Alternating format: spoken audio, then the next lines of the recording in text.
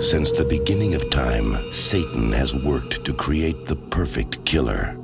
One who kills many without reason. One who cannot be stopped. Today, that man exists. Be warned. We're just going to go through a very small door. Here. Lou Diamond Phillips is hunting a man who kills for the sake of killing. Tracy Griffith might be the only one who can help stop him. I know where he's going next. What? Oh. This location fits the pentagram pattern on the map, and my informant says this is where he's going to strike next.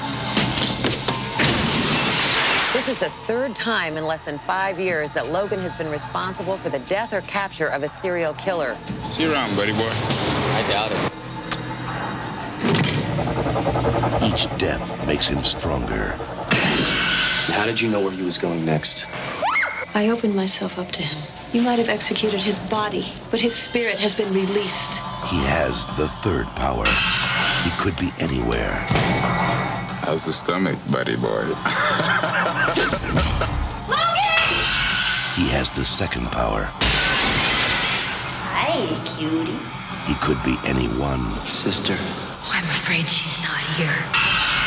Now, he has the first power. See you around, buddy boy. Immortality. You don't have any idea of what you'll be facing.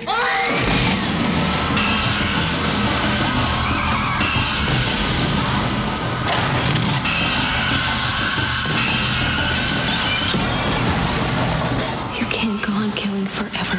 You want a bet?